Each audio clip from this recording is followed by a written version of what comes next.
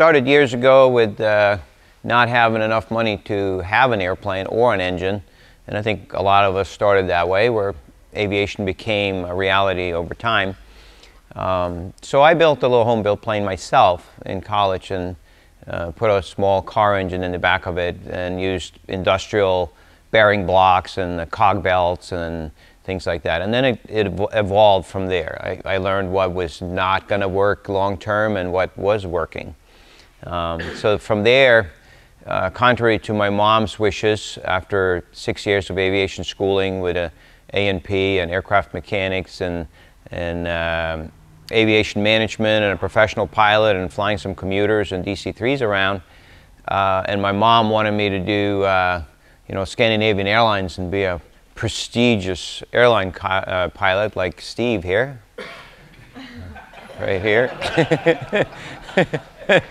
uh, I started playing with little airplanes and little engines and stuff, and um, so it was been it's been a, a journey, a 30-year journey of uh, trying to make car engines fly, uh, all the way up until now, where you guys are actually like not the first group of people, but uh, let's just say that the first group of people that are here because you think that, uh, or maybe you do, that a car engine in fact has become more viable than other things that are either too expensive, hard to get, uh, old, and so forth and so on. So what we do is take car engines, convert them over, and make them fly in small light aircraft. And that's uh, a little bit where things are going. You know, we're at a point now where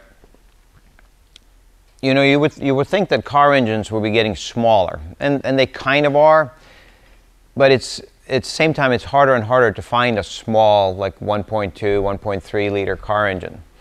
Um, a lot of companies have gone with what they call downsizing, but that's for other companies than uh, than Honda. Well, a little bit with Honda too, but they they would go with direct injected turbocharged engines rather than a V6 or a V8 and all that. But it hasn't really benefited us a lot because Honda, which is what we work with as far as their engines, um, unless you get up into their minivans and things like that, the, the engines are inline four cylinders anyhow. So you're getting into like they're getting away from the normally aspirated and they're going with the same block for everything a 1.5 liter direct injected turbocharged engine and that's the turbocharged engine that we have and it's in the hr in the CR-V it's in it's in like all of their cars 195 turbo? the 195 turbo It's in, the, it's in the Honda Accord. yep and it's in the accord it's in the civic um, so we decided, well, that's going to be like the top of the, the line of what we offer, you know, 195 horsepower.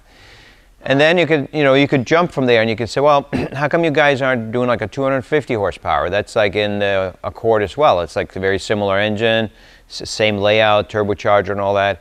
But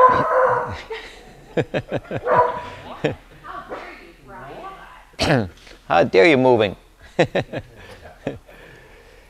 So, but we never did, and we probably won't for a long time, if ever, because the, uh, if anything, we're, we're like to have smaller engine rather than larger engines.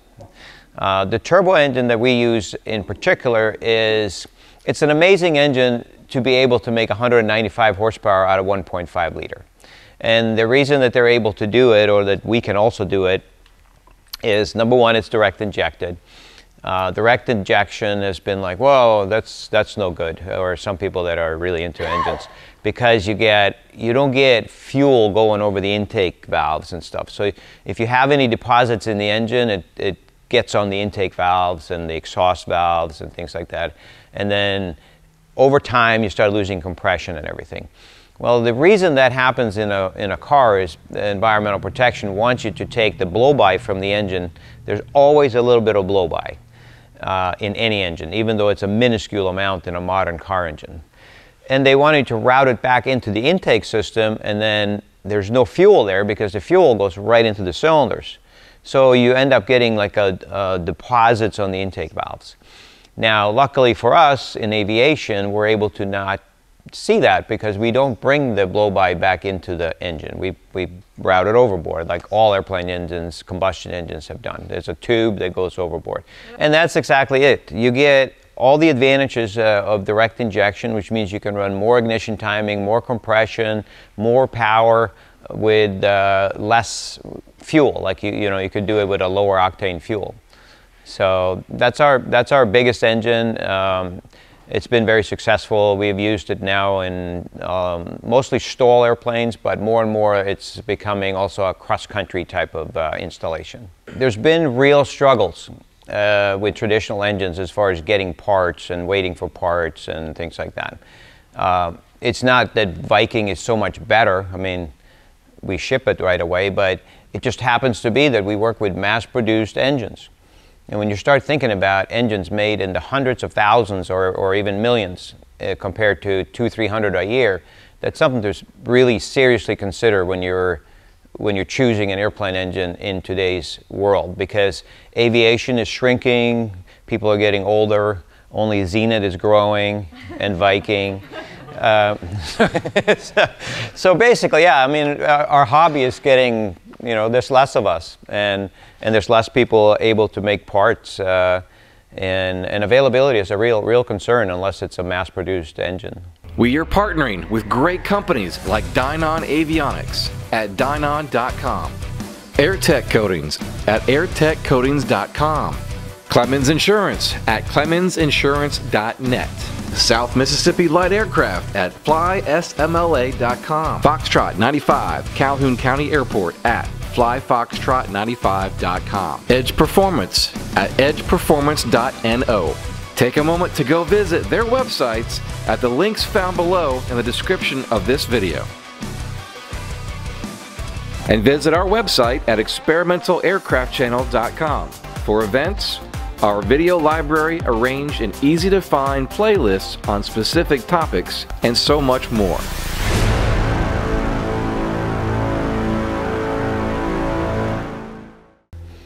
Um, a little secret.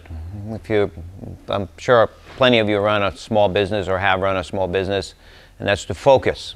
Okay, we have the last five, six, seven to ten years, probably ten years, we made a decision. Um, that not every experimental airplane out there needs us to spend ten, fifteen thousand dollars on a cowling mold. Okay, we, and not just because Sebastian's here. By the way, there's Sebastian from Zenith. Um, but we ended up focusing on their airplanes, and we did that for many reasons. One, business. You have to be able to sell engines. Number two, uh, we have a great reputation for supporting customers.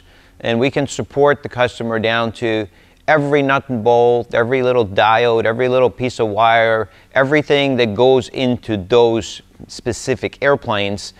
Um, and we've learned that modern builders are expecting more than uh, old timers that you know would cut sheet metal and, and file edges and stuff.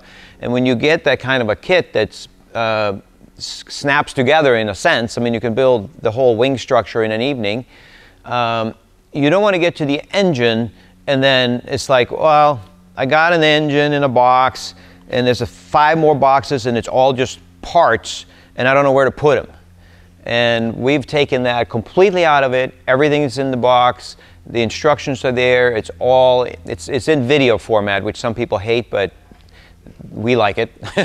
and it's, it's every little detail. How to put your fuel system in, how to put the, the propeller on, how to balance your propeller, how to do your wiring. It's all there. Everything is there. And that's focusing was a great thing for us. It was a great thing for the builders. Uh, and of course, uh, we could perfect the things that we're doing for those airplanes. This is a back plate for a gearbox. It's a pretty simple one, but so, so that it holds the bearings and the gearbox is built on here.